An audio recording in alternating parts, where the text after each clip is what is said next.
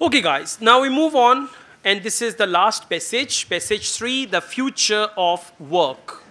In this passage, they're going to tell us about the future of work. Future of work means the jobs people do, what will happen to that in the future. The future of work, that is the title. Now, please come to questions. 27 to 30. What type of question is that? 27 to 30. We call it multiple choice questions. 27 to 30 multiple choice questions. Write the correct letter in boxes. Question number 27. The first paragraph tells us about. Now, listen, for multiple choice questions, you will not read the options first. Deal with them like you deal with multi, uh, list of headings, right? The first paragraph tells us about. Now, first of all, we will go to first paragraph, skim read first paragraph and find out what is it that the first paragraph tells us about. Then we come back and go through the options and the right option is going to click us. So let's go back. First paragraph. I'm reading it. Please follow me. Future of work, first paragraph. According to a leading business consultancy, 3 to 14% of the global workforce will need to switch to a different occupation within the next 10 to 15 years. What does it tell us about? 11, 3 to 14% of the occupations, they have to switch to a new occupation, means their occupations will be finished, right? Three, uh, 10 to 15 years and all workers will need to adapt as their occupations evolve alongside increasingly capable machines. So what are they telling us about? Many people will switch their jobs. For example, if they have accounting software, then there is no job for accountants, right? So they tell us 3 to 14% of global workforce, they will have to shift or change their occupations within the next 10 to 15 years. Now please come back. Tell me which option matches with that. Option A, kinds of jobs that will be most affected by the growth of artificial intelligence? Yes or no? No. Let's leave option B. Come to option C. Proportion of the world's labor force who will have jobs in artificial intelligence in the future? No. Option D. Difference between ways that embodied and disembodied artificial intelligence will impact on workers? No, not at all. It's option B, extent to which artificial intelligence, if you read this paragraph further, you will find they're talking about AI, automation or embodied artificial intelligence. So the extent to which AI will alter the nature of the work that people do, right? The extent, what is the word for extent? 3 to 14% of global workforce. That is for extent. AI will alter. What is the word for alter? Yeah, switch to a different occupation. They have to switch or change, adapt. The word adapt is for that, okay? So for question number 27, B is the right answer. Okay? You can practice again, go back to paragraph, read the options and all that. Question number 28 according to the second paragraph. Now, in, uh, in multiple choice, sometimes they tell us about the paragraphs clearly. According to the second paragraph, what is Stella Pachidi's view of the knowledge economy? Now, knowledge economy is in inverted commas.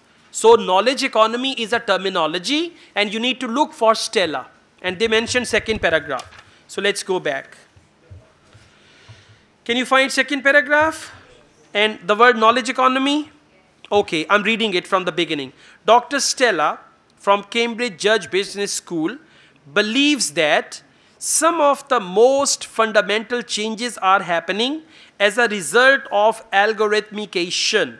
Algorithmication is again the same thing like uh, artificial intelligence. You know, sometimes on Facebook, on YouTube, you watch one video they suggest you the same videos. By mistake, you watch one of my videos, they will show you many of the videos, okay? Yeah. So, uh, so uh, this, that is what they call algorithmication of jobs that are dependent on data rather than on production. Focus this thing. I'm reading this line again. Believes that some of the most fundamental changes are happening as a result of algorithmication of jobs that are dependent on data rather than on production. The so-called knowledge economy. Now, what is so-called knowledge economy? That fundamental changes are happening as a result of algorithmication of jobs that are dependent on data rather than production. So let's go back. According to second paragraph, what is Stella Pachidi's view of knowledge economy? Let's read the next line also. Uh, algorithms are capable of learning from data to undertake tasks that previously needed human judgment, such as reading legal contracts, analyzing medical scans, and gathering. So these algorithms are capable of learning from data. Let's see now. Please go through the options. It, it means knowledge economy. Now be clear about it. It means knowledge economy. Knowledge economy means that they are using artificial intelligence to read different things. So it is having an influence on the number of jobs available. Yes or no? They didn't mention number of jobs available. Uh, by the way, the best way to deal with multiple choice is elimination. Cross the wrong options. Yeah. A cannot be the answer. B. It is changing people's attitude towards their occupation. No. Now we are left with two more. 50-50. C.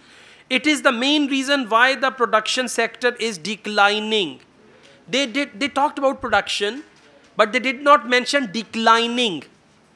Try to understand that. They did not mention declining. Now if abc is not the right answer then the right answer is d. It is a key factor driving current developments in the workplace right? Now let's go back. The so-called knowledge economy. Algorithms are capable of learning from data to undertake tasks that previously needed human judgment. So algorithms are capable of learning from data. This is what they use as key factor.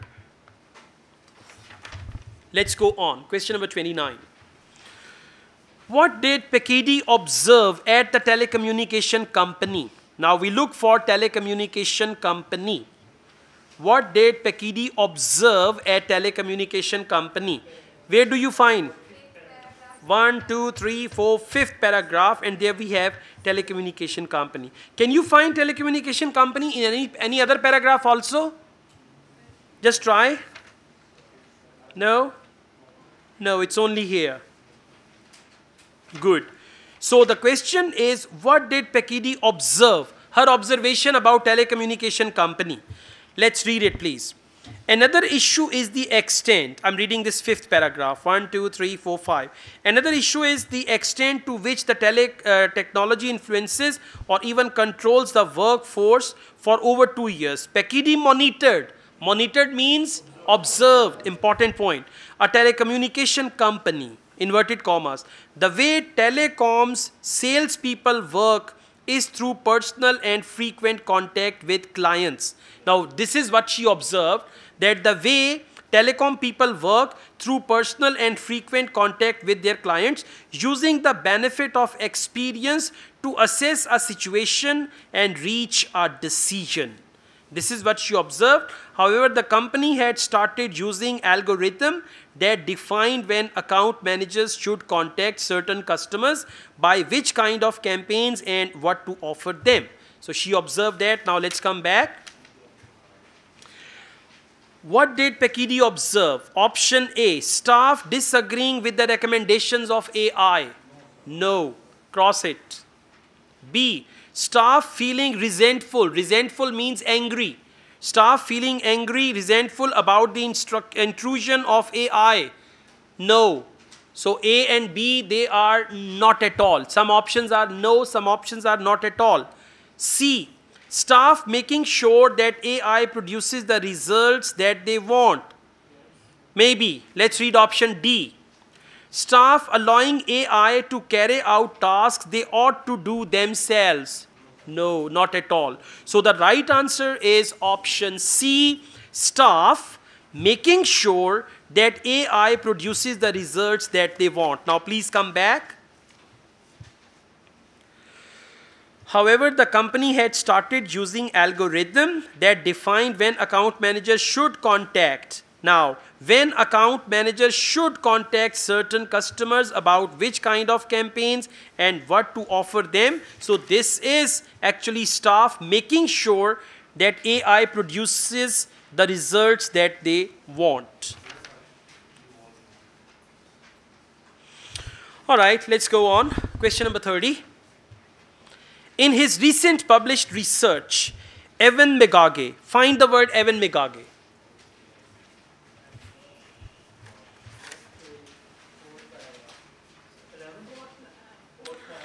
Okay, uh, we got this word Evan McGaughey in fourth paragraph. One, two, three, four. Yeah, we got it here.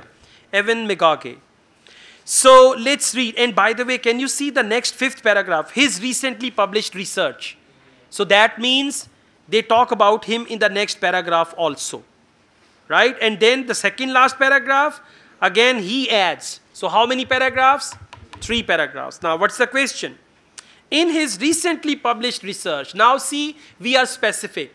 Uh, the clue word is Evan McGaughey, but we are just going to read about his recently published research. Which paragraph is that? It's third last paragraph. Clear? So you don't need to go anywhere, you will just come to this point. His recently published research answers the question of whether automation, AI and robotics will mean a jobless future by looking at the causes of unemployment, history is clear that change can mean, uh, can mean redundancies, redundancies when people become jobless.